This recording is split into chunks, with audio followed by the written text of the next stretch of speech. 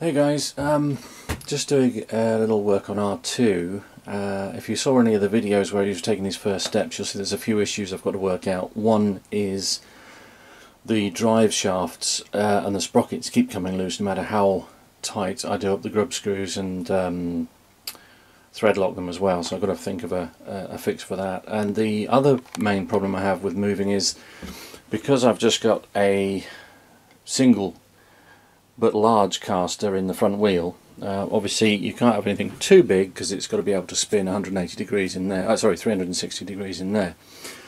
Um, and if they're too small then you'd have trouble going over little little steps and curbstone, you know, little um, un uneven ground, that sort of stuff. So um, the problem I was having is with the one caster, the foot tends to, if you're going backwards, tends to pull down and then it's almost like it's putting a brake on and if you go forward it sort of wants to tip that way. Obviously with two wheels it will find its own level. Um, but with these metal parts um, it's always slightly toe up I've noticed and I think that's because these were made for the version with the extended outer legs I'm assuming which would correct the angle because you can have extended legs and extended rocket boosters as well. Anyway the real problem I had was this thing moving because it's a hinge and no matter how tight you do those bolts through the centre there, uh, it still eventually it works its way loose, uh, and the more you move him, the more it works loose. So um, I was having a bit of a think, and one of the guys, Giles, thank you very much, Giles, uh, in the club, suggested this. Um, and what he's actually, what all I've done, I've taken his suggestion. It was a good one, simple one. Is I've drilled two two holes through here. They're five mil holes. They go through this, and then they go straight through here so you've got the bolt goes in at the top and then you've got the nuts there and there. So there's two of them and they're absolutely holding that ankle dead solid and it won't move. You'd have to snap two bolts, two M5 bolts to move. So that should solve that one. Um, obviously in the future if I try it with the two wheels, two smaller wheels, the bolts can just be removed and it's back to flexible again, although obviously there'll be some holes. But I think most of the time it's just going to be absolutely rigid because the more it moves the more complications it causes basically. So um, yeah, just a little tip. Two M5 bolts, just drill straight through the bottom of the ankle, through the top of the foot, and uh, just tighten them up, and there you go. It's like two big 5mm steel pins through there, so it's not going to go anywhere. Hi there, doing a bit more on R2 this morning. A um, couple of jobs I'm doing. One is just finishing off with the centre foot. Uh, that's now been locked, as I started to show you in the last video. I've now locked that in place. Um, you can't see them now, but basically I've drilled a hole through here on both sides and there's an M5 bolt going through which literally bolts the two together so there's no way that ankle's now going to move unless it can shear two 5mm bolts. Um, put the side plates on because the side plates you can't access once you've put my um, my block on there. That's the block that I 3D printed to support the, um, the caster. Uh, and that's pretty much it for that bit. But while I've got it off I decided to change the battery plate. What I had before is I had four of those holding the foot on um, through the battery plate. But that meant I had four of these sticking up which interfered with the battery. So what I've just done is I've taken it back out to the shed and countersunk all of these. So now that's the same quarter UNC quarter by 20 UNC bolt. Now it'll be nice and flat so the battery won't be sitting up balancing on four sharpish or four um, you know little studs that wouldn't be a good idea. So I'll reassemble that now and show you what it looks like. Okay just so you can get a chance to see what it looks like underneath um, that's basically what we've got. So I've put the battery holder back in place. I'm going to 3D print some new top parts for this so I can have different size and shape batteries. That's one of the next plans but you'll see now that those are nice and flush. They're not tightened up yet because I've left them loose and then those are just going to locate in those four holes there Okay, so centre foot back on, all the adjustments done that I wanted to do and as you can see I've now got a nice flat plate there for the bottom of the battery so they're not going to sit up on the heads of bolts. So um, that's that little job complete. Okay, so I'm doing a bit of work on R2 this morning, um, trying to solve a little issue that I'm not too keen on.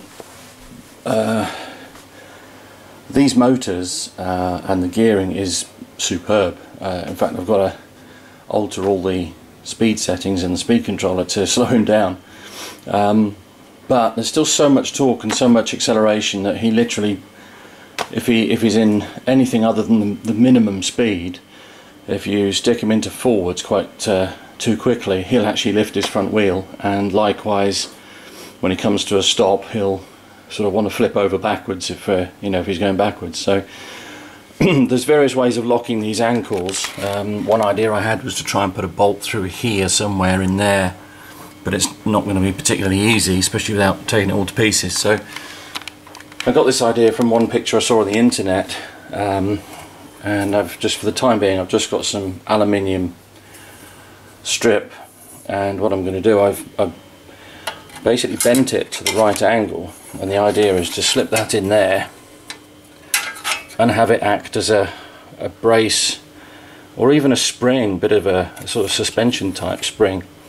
Uh, obviously I can paint it uh, white so you don't see it too much. I want to get it as close into that ankle as possible. Um, and I might as well use the same two fixing holes. So I'm going to make a paper template or a cardboard template get me uh, measurements correct and then give it a go.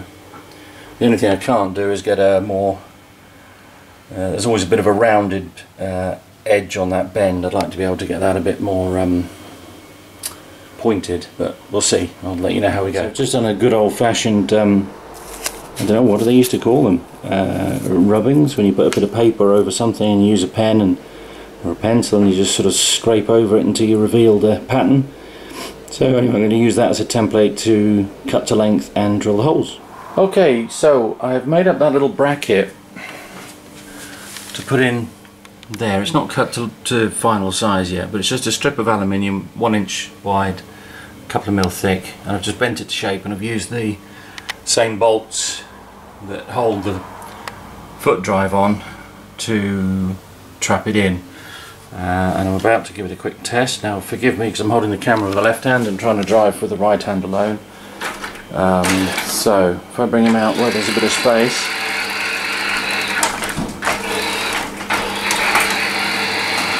So now if I can try to keep the camera on the feet when he spins now he no longer tries to lift the ankle. Now sometimes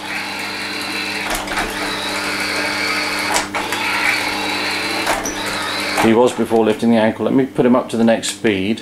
This is quite quick.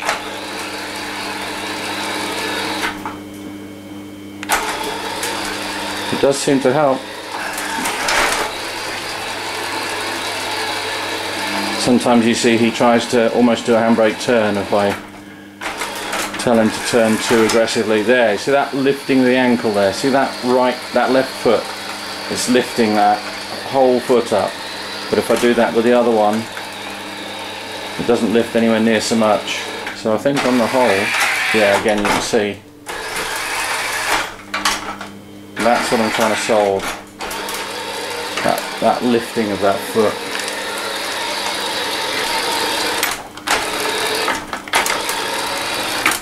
See if we can go on to the fastest setting.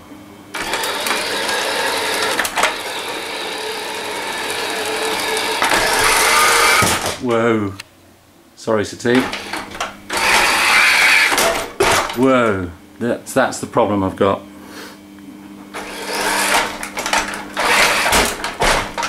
That's just... I've just got to lock these ankles. He's uh, too powerful and torquey for his own good at the moment.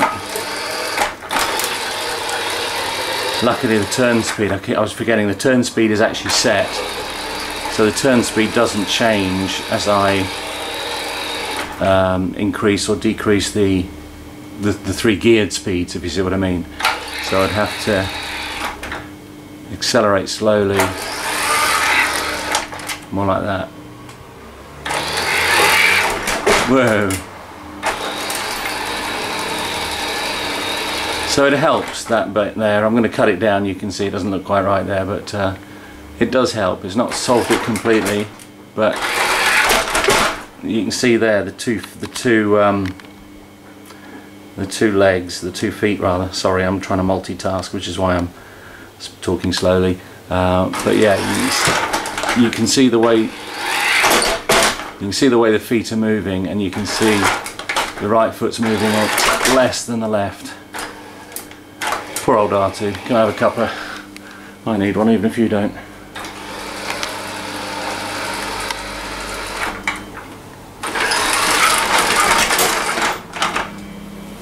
It's hard to it's hard to film and drive at the same time. I'm going to stop now. Okay, uh, so now I've got that uh, uh, mechanical stuff sorted out. Uh, it's down to the code and the electronics at the moment. He's still just a little bit. Uh, I'm not quite happy with the speed uh, that he accelerates and decelerates, and he's turning quicker than he goes forwards. So I've loaded up. This is the Arduino sketch actually that uh, controls it. So I can make some changes. I've just plugged the uh, laptop into the Arduino Mega and I can change some of the settings. So I'm going to have a go at that now and then I'll show you how the um, uh, show you what the difference it makes